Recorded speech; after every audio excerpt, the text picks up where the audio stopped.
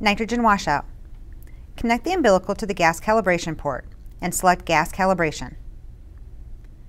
Gas Calibration Successful message will appear at the bottom of the screen when the calibration is complete.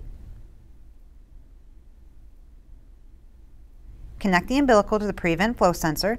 Have the patient put his lips tightly around the mouthpiece and put the nose clip on the patient. Select Start and have the patient breathe normally.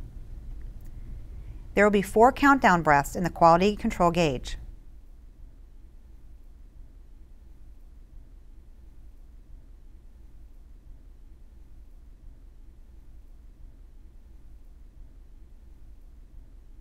Then perform four tidal breaths. The breaths will be seen on the screen.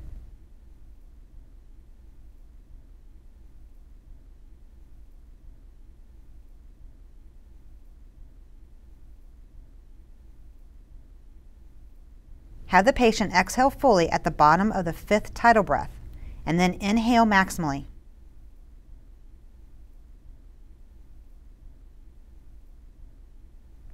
Have the patient return to normal breathing and select the spacebar at the end of the tidal breath.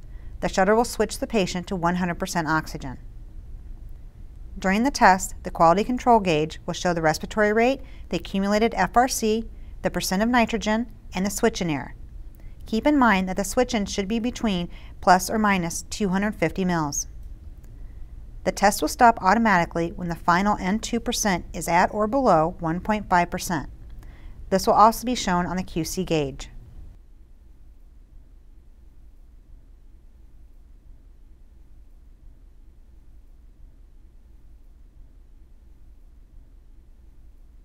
The scorecard shows which ATS criteria were met.